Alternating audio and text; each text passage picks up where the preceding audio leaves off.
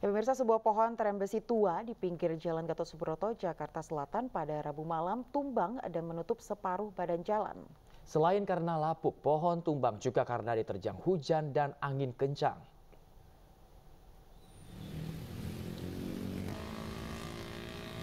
Pohon trem besi dengan tinggi 15 meter malam tadi tumbang dan menutup separuh badan jalan Gatot Subroto arah Pancoran, Jakarta Selatan.